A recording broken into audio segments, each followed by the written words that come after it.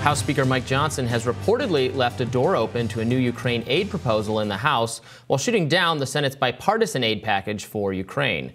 Now, Johnson has allegedly met privately with House Republicans who've been working to build support for a new foreign aid package, per CNN. This comes as Florida Senator Marco Rubio gave his prediction on how the Ukraine Russia war could end. Here's what he said on Fox News on Sunday. There is no way that the Russian Federation takes Ukraine, all of Ukraine, half of Ukraine, and that was that was Putin's goal from the beginning was to carve it up in, into half, at least half the country, including Kiev. That's not going to happen. That's not going to happen on the other side of it, we have the reality of it is that Ukraine is small compared to Russia in terms of size and its ability to bring scale, its ability to force conscript people. So neither neither kind. This is I'm just being honest, and, I've, and you know in the past I have tried not to talk about this publicly because I thought it undermined uh, the the leverage that Ukraine had. But now it's the reality. Neither side is going to be able to achieve victory as defined in the most idealistic terms. Hmm. All right, to that clip set off a lot of alarm bells on social media this weekend from folks who have been, regardless of what it meant for leverage, been willing to say openly that there was likely to be this exact kind of a stalemate given the asymmetry between the military force of Russia and Ukraine. And that it is perhaps unethical. This is the argument that many people on the left, people like Aaron Mate and Max Blumenthal, were making, that it is unethical to mislead the American public, the Ukrainian public, into believing that it could win the war with just enough American aid when the U.S. interest is to weaken Putin, regardless of whether or not it puts Ukraine in a better bargaining position in the longer term. But it sounds like he's saying that he thought having a positive attitude was helpful, mm. and so he was doing that. Yeah, yeah, I looked, you know, from the start. So, so Rubio is a bit of a chameleon. Um, when he was first coming to national prominence, I would have said that he was very much a neoconservative member of the Republican side of things. Obviously, he ran against Donald Trump. He was extremely critical of Donald Trump. Um, he was, you know, while, while having differences from from a George W. Bush kind of some differences, he was very much a continuation of that foreign policy.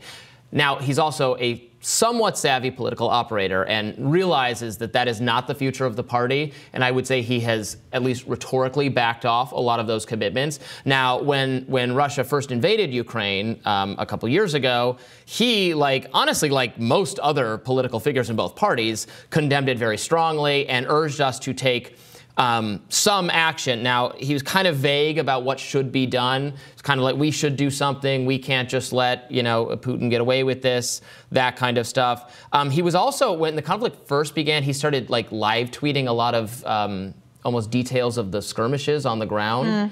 Mm. he said that Putin it was experiencing a Putin was having a mental decline, health mm. decline, is something he claimed.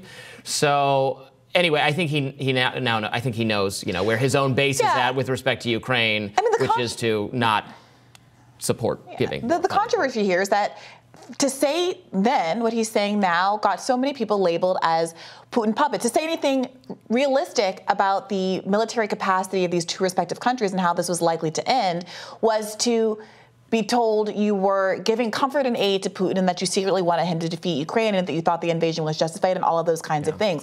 So this does feel a little rich, and the timing of this feels suspicious, especially in light of the fact that it does seem like, to the extent that there might have been a moment where we thought, where the, the public thought that MAGA might not uh, retain its strength, folks were opining a year ago that um, Ron DeSantis was looking strong and Trump was looking weak, and there were these evaluations of their uh, campaign launch events that were very critical of Donald Trump, and perhaps there was some belief that the um, the, the kind of polarizing nature of Ukraine would diminish over time. That has not happened. And it does seem like people are now getting back into the Freedom Caucus orientation that says, especially given the, the way the war has gone uh, that says we've got to do America first and we've got to um, ratchet back aid.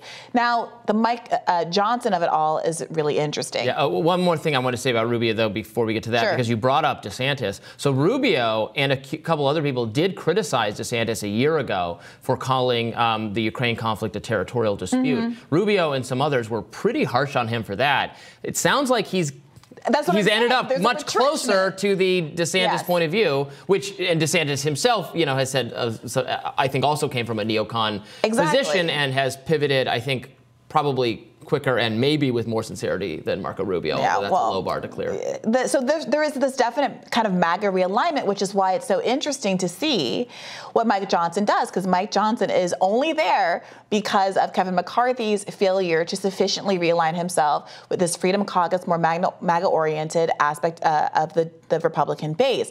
And in fact, is out precisely because there was this concern that he was too conciliatory on these foreign aid packages. So what is Mike Johnson going to do now? He seems to be expressing some openness to the idea of passing aid to Ukraine at the same time that there is this bifurcation that's happening where some Republicans, uh, the, Ukraine has become the Republicans' bête noir. Israel has become the Democrats' issue. There's this effort to make a joint package to make everybody equally happy or unhappy. Equally unhappy. right. But the question is if Mike Johnson concedes to that, is he going to find himself in the same position as Kevin McCarthy, or are Republicans going to realize that ultimately concessions are going to have to be made. The establishment of both parties is very supportive of both aid packages. And that unless they're just going to keep playing replace the speaker every six months or so, there's going to have to be some uh, acknowledgement, some realization that they're going to have to eat some crow here. Yeah, I, I do not think it is wise on any level to um, to have a new Ukraine funding package for a Republican leader. I think. Um, Mike Johnson's head will be on a spike right next to Kevin McCarthy's if he allows yeah. that to happen. This has become a major issue for the base. Look, the the establishment on the Republican side, the establishment is taking some L's. Mitch yeah. McConnell is going to be out by the end of the year. Um, a, a, the attempts to have a real, realignment on the Republican side. I'm not saying it's it's like notching policy wins, but people people are losing. People are losing their power on the Republican side for clinging to things that are unpopular. Um, so I, I, think, frankly, Mike Johnson so far seems to be a smarter political operative than that, than Kevin McCarthy. So holding out and not doing that would be would be the wisest course of action because the Republican base clearly does not want more funding for Ukraine. Yes. E- even the ones who were previously supportive of it yeah. have changed their mind about it because it's not the idea that it's going to result in Ukraine winning the war or some, you know, that it's going to result in anything but wasted money, wasted weapons, and more people dead is, I think, a fantasy that no one believes anymore. What do you make of the asymmetry between how the Republican base and the Freedom Caucus folks who seem to represent them on this issue are approaching Ukraine aid versus Israel aid? Well, I mean, of course, some people, it's a much smaller number of people, but there are people on the Republican side who are equally skeptical of Israel aid. Your Thomas Massie's, um, your Rand Paul's to a degree, um, and others. Um, and others. I mean, I, I, take your point, Massie and Paul, yeah. but that is a very small. Co- cohort of more libertarian minded Republicans in a, an arena where it does seem like the divide is more about kind of the perception that Ukraine is Biden's war, being anti Ukraine, being is, is a way to uh, position yourself against Democrats, where Israel doesn't have that same valence. There have been so many Republicans, as there are so many Democrats, so many establishment figures across the board who have remained stalwart in their commitment to Israel. Yeah, look, I think they could make themselves more popular with their voters if they um, signaled opposition. Again, they don't have to say anything negative about Israel itself but signal skepticism of continuing to just send money overseas,